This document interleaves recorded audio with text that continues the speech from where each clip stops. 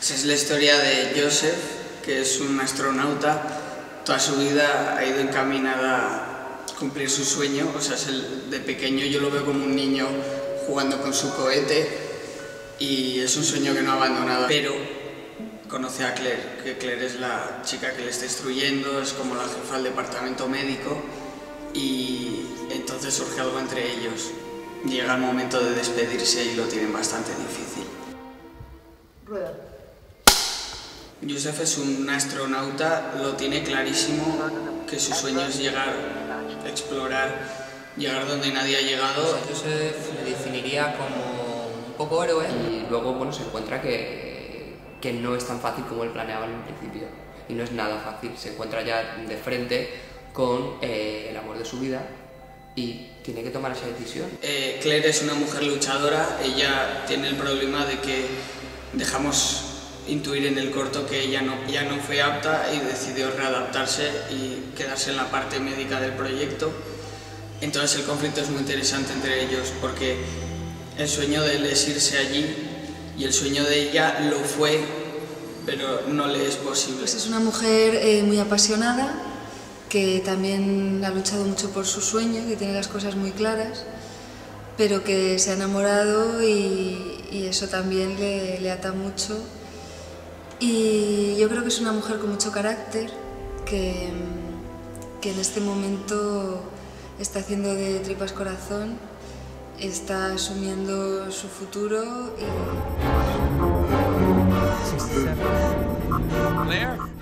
Llegar a esos terrenos tan extremos como son el despedirse para siempre de alguien que, amas. Y yo lo he trabajado, pues es que es un poco como, como casi la muerte, ¿no? Imaginarte que puedes despedirte de alguien antes de que se muera. Que eso en la vida no ocurre porque a lo mejor no te, no te da tiempo, ¿no? Y no sé, ponerme en la situación de ella, de, del dolor que pueda estar sufriendo, me ha costado mucho.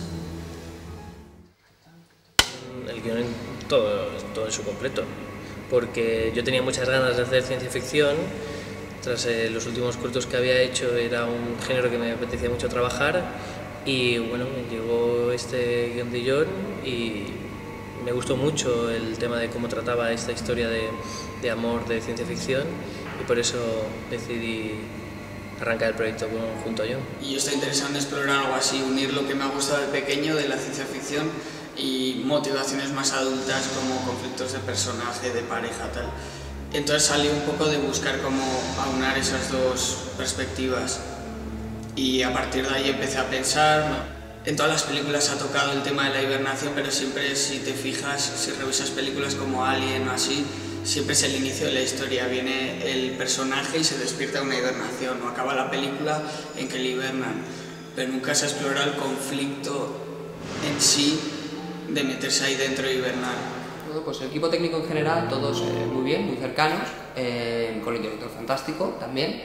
Era la primera vez que yo trabajaba con un director que ponía música en, el set para preparar cada escena eh, y yo me di cuenta que efectivamente ayudaba al equipo para meterse, digamos, en un mundo.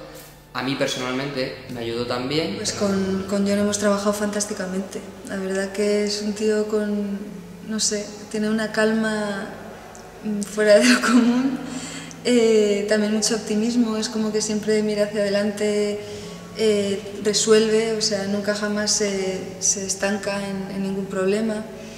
Mm, escucha mucho también nuestras propuestas y, y, luego, no sé, como tenía ya todo el corto pensado, con un story totalmente desarrollado y detallado, como hemos rodado por planos muy complicados, con grúa, con traveling y no sé, yo creo que es un tío que tiene muchísimo, muchísimo talento. Ese guion forma, va, va, cogiendo forma. Entonces es una parte muy bonita en la cual pues vas consiguiendo a todo el equipo, a todo el casting y ves también cómo se va construyendo este decorado que ha sido la nave, que han sido tres semanas de construcción con un equipo fantástico. Todo el proceso de documentación ha sido durillo porque bueno, yo no había tenido que diseñar nunca antes una, una, nave espacial, con lo cual ha sido difícil el conjugar de alguna manera los datos reales o científicos para basarnos en una, en una nave espacial, o sea, crear de la nada una, una nave que fuera mínimamente creíble, que nos, se ajustara al presupuesto, que lo pudiéramos hacer en 15 días y que eh, diera el pego y no, y no pareciera un, un decorado de cartón piedra.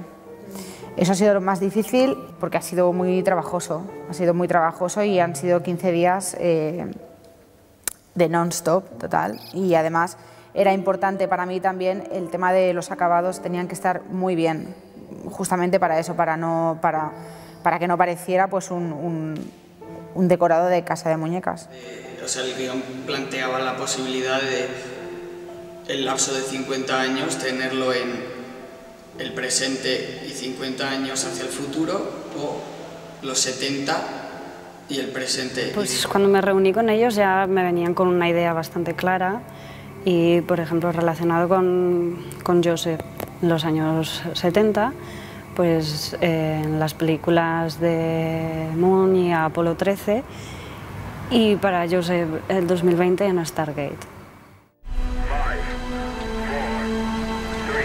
Negros fue un día intenso, intenso, intenso. Llegamos muy bien, montamos todo, empezamos a grabar los primeros planos, ellos corriendo, tal, el beso. Hicimos la pausa para comer. Y desgraciadamente por la tarde empezó a llover a cántaros. Estamos todo el equipo debajo de sombrillas, que a su vez eran para rayos y venían directamente hacia nosotros esos rayos. Así que fue bastante aterrador. Y sobre todo es ese momento en el que estás entre la espada y la pared en el sentido de lo que quieres hacer sabes que es inviable en cuanto a planificación y tienes que rediseñar lo que querías hacer con toda la presión de un equipo esperando a ver qué decides, un tiempo que te está empapando y, y no sabes dónde meterte. Entonces al final es una prueba de fuego de cómo salgo de esta. Fue toda una odisea. Ha sido un viaje muy bueno eh, ha sido una, un gran aprendizaje para, para todos. No sé, podríamos definirlo con la palabra ilusión, porque yo creo que es un proyecto en el cual todo el equipo está muy ilusionado con él, ha dado todo, han dado el 100%. Y se vea el talentazo de, de todo el equipo, se, se refleje, eso es lo, lo que más importante me parece, que todo de verdad lo que ha sido, que es una gente estupenda trabajando también se, se refleja en el corto. Una supernova. ha sido como una supernova en corto. Hemos ido todos encima del cohete. Hicimos todos piña, esto funcionó para apoyarnos unos a los otros y sacar para adelante lo que queríamos cada día. Llega un momento en el que ves a un actor llorando, haciéndote llorar por ideas que un día se te ocurrieron porque no te podías dormir una noche y creo que no puede haber nada más maravilloso que eso irrepetible. Es un corto, más que un corto, es un mini largometraje. Creo que de corto tiene poco, casi, en el sentido que técnicamente, efectos especiales, eh, arte, todo este tipo de cosas, eh, tiene muchísimo. Es que este corto es una peli, eh, me parece un peliculón. Creo que, que hace un viaje increíble en, en poco tiempo